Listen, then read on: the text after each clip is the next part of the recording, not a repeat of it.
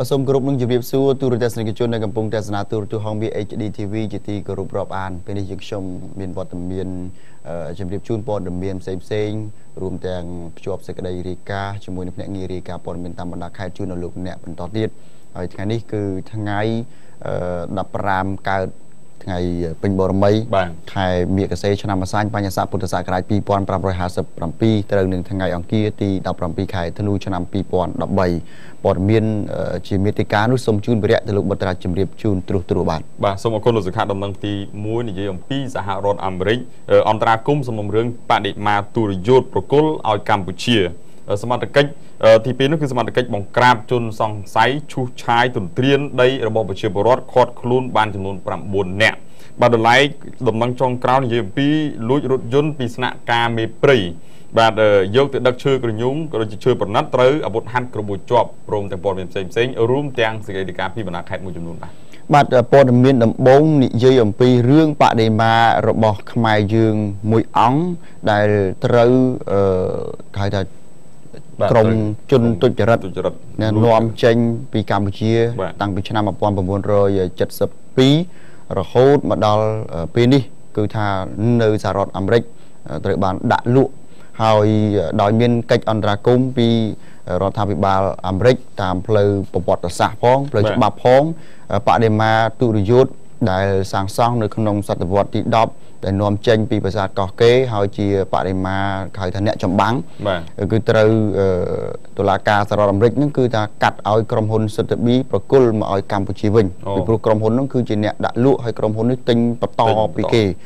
ដើម្បីជ្រាបអំពីរឿងនេះសូមស្ដាប់ប្រសាសន៍របស់អាដាមឧបនាយករដ្ឋមន្ត្រីសុកអាន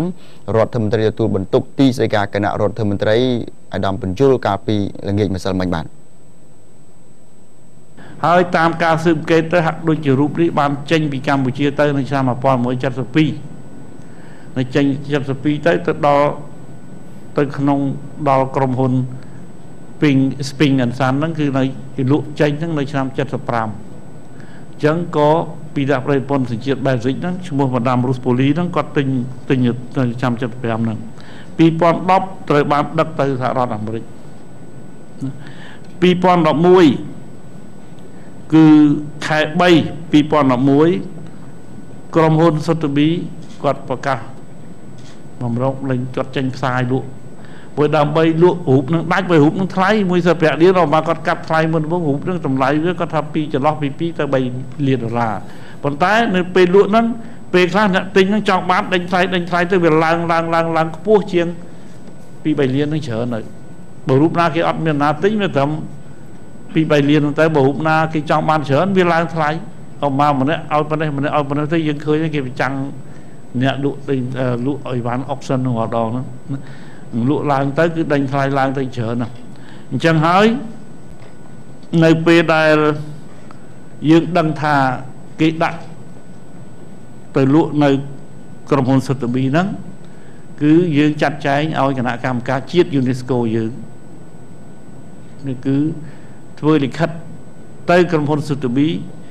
សុំខាត់ស្នើឲ្យដករូបដែលយោធានានឹងចេញពីបញ្ជីលក់ហើយសូមឲ្យបញ្ជូនមកកម្ពុជាវិញបាទ ប៉ុន្តែកិច្ចអន្តរាគមន៍ដំបូងរបស់កម្ពុជាថាខាត់នឹងដកមកកម្ពុជាគឺមិនបានជោគជ័យទេដោយសារតែក្រុមហ៊ុនសុទ្ធប៊ីជំទាស់ពីព្រោះគេជំទាស់ថា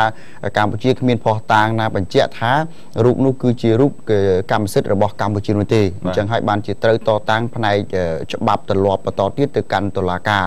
ទស្សនវិជ្ជាពីរយ៉ាងដែលកម្ពុជាលើកសម្អាងសហការជាមួយនឹងរដ្ឋការសហរដ្ឋអាមេរិកគឺទី1បង្ហាញអំពីប្រវត្តិសាស្ត្រនៃរូប ហើយទី2គឺសំអាងទៅលើផ្លូវច្បាប់ដូច្នេះសូមស្ដាប់ការគូបញ្ជាក់បន្តរបស់អាដាមឧបនាយករដ្ឋមន្ត្រីសុកអានបន្តទៀតបាទថ្ងៃ12ហ្នឹងថ្ងៃ16ទៅថ្ងៃ12 4ថ្ងៃមុនហ្នឹងណាបានលោកស្រីមីធាវីសារ៉ុនលេវីនហ្នឹង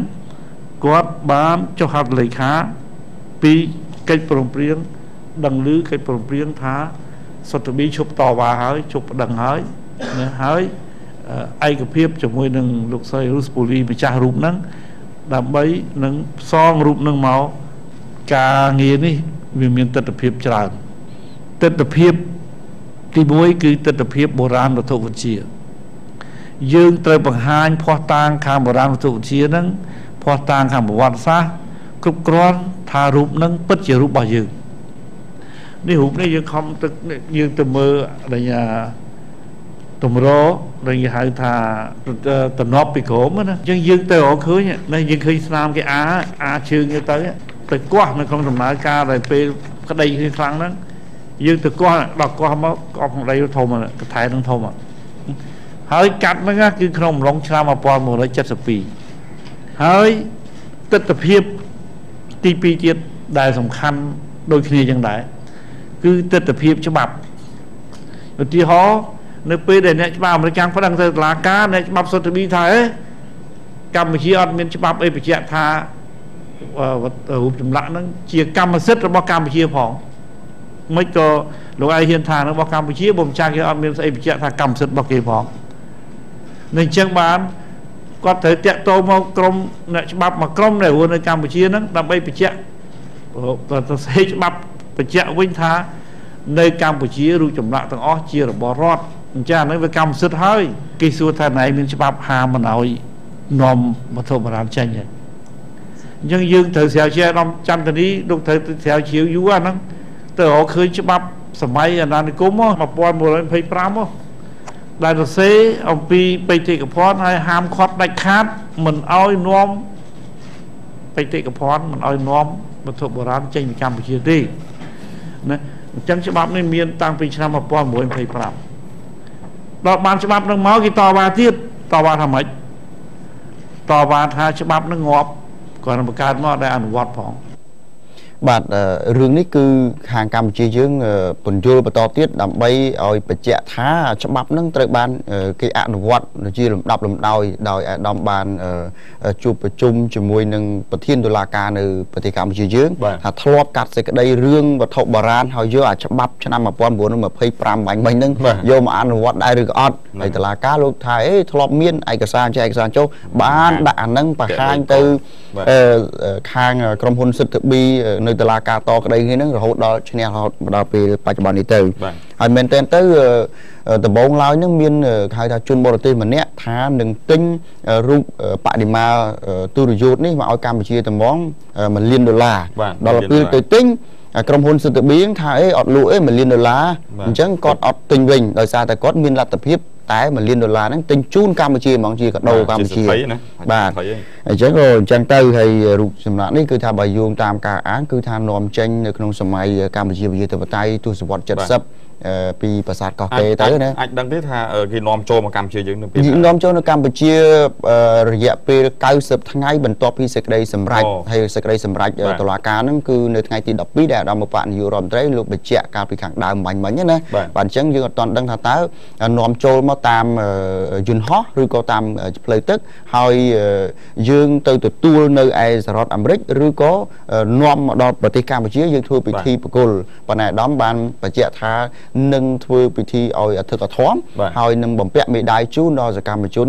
ទាំងអស់ដែលខិតខំប្រឹងប្រែងជួយជាពិសេសគឺរដ្ឋការឬក៏អ្នកច្បាប់របស់សហរដ្ឋអាមេរិកហើយពីម្សិលមិញហ្នឹងគឺអាដាមបានថ្លែងអំណរគុណយ៉ាងជ្រាលជ្រៅបំផុតចំពោះអ្នកច្បាប់និងរដ្ឋការសហរដ្ឋអាមេរិកដែលជួយអន្តរាគមន៍កិច្ចការងារនេះដោយមិនឲ្យកម្ពុជាចេញថវិកាមកកាក់ម៉ាស៊ីនបាទបាទអរគុណឥឡូវខ្ញុំបានសូមផ្ដល់ជូនដំណឹងមួយទៀតតកតូននឹងការ កាន់កាត់ឈូសឆាយទន្ទ្រានដីរបស់បងប្អូនប្រជាពលរដ្ឋនៅក្នុងខេត្តកំពតដែលក្នុងនោះគឺសមត្ថកិច្ចបានខាត់ខ្លួនអ្នកដែលបង្កជនបង្កនោះចំនួន9នាក់រួមទាំងដែលជានាយកក្រុមហ៊ុនមួយរូបផងដែរនៅក្នុងភូមិព្រៃពួយឃុំត្រពាំងភ្លាំងស្រុកឈូកខេត្តកំពត តេតិននឹងការខាត់ខ្លួនជនសង្ស័យខាងលើទាំង9នាក់នោះគឺអឺបើតាមការលើកឡើងរបស់លោកម៉ៅច័ន្ទមេធរុតដែលជាស្នងការរងទទួលបន្ទុកការិយាល័យកណ្ដាលយុទ្ធធរបានអឺឲ្យ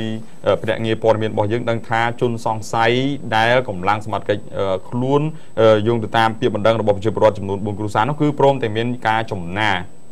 ការចំណាយយ៉ាងត្រឹមត្រូវយ៉ាងជាក់លាក់មួយពីអាដាមបាល់ខេតបានបញ្ជាឲ្យលោកនិងក្រុមការងារដឹកនាំកម្លាំងហ្នឹងគឺចូលរួមមានការកម្លាំងកងរាជអាវុធហត្ថមន្ត្រីសុរិយោដីនិងអាជ្ញាធរភូមិឃុំដើម្បីទៅឃាត់ខ្លួនជនទាំង9នាក់នោះកំពុងតែធ្វើសកម្មភាពឈូសឆាយដីរបស់បងប្អូនប្រជាពលរដ្ឋហើយក្នុងចំណោម9នាក់នោះគឺមានម្នាក់ជាមេខ្លោងដែរត្រូវបានគេស្គាល់ឈ្មោះថាស៊ិន បុលបាទភេទប្រុសអាយុ41ឆ្នាំជានាយកក្រុមហ៊ុន Simnimul Investment Development Group ជាមេដឹកនាំបញ្ជាគ្រឿងចាក់ឲ្យឈូសឆាយដីរបស់បងប្អូនប្រជាពលរដ្ឋកាន់កាប់បាទហើយបើតាមការលើកឡើងនោះគឺជនសង្ស័យទាំង9នាក់នេះគឺមានទាំងវត្ថុតាងគ្រឿងចាក់4គ្រឿងសមត្ថកិច្ចក៏បានកសាងសំណុំរឿងបញ្ជូនទៅកាន់តុលាការដែរដើម្បីដោះស្រាយទៅតាមនីតិវិធីពាក់ព័ន្ធនឹងការរំលោភទៅលើដីបងប្អូនប្រជាពលរដ្ឋខាងលើនេះបាទ បាទបទល្មើសរំលោភលើដីកម្មសិទ្ធិរបស់ឯកជនមានចែងនៅក្នុងច្បាប់ភូមិបាលឆ្នាំ2000ហើយមាត្រា200ជាងដែលដាក់ទណ្ឌទណ្ឌកម្មទាំងព្រមទណ្ឌ ហើយនឹងរដ្ឋបវេនីមានន័យថាដាក់ពន្ធនាគារហើយនឹងពីន័យជាប្រាក់អាហ្នឹងសុទ្ធជាបទល្មើសហើយហើយបើសិនជាជួយឆាយដីព្រៃរបស់រដ្ឋរបស់សាធារណៈអាហ្នឹងគឺថាយើងមានច្បាប់មួយទៀតច្បាប់ស្តីអំពីព្រៃឈើអាហ្នឹងយើងអនុវត្តបាន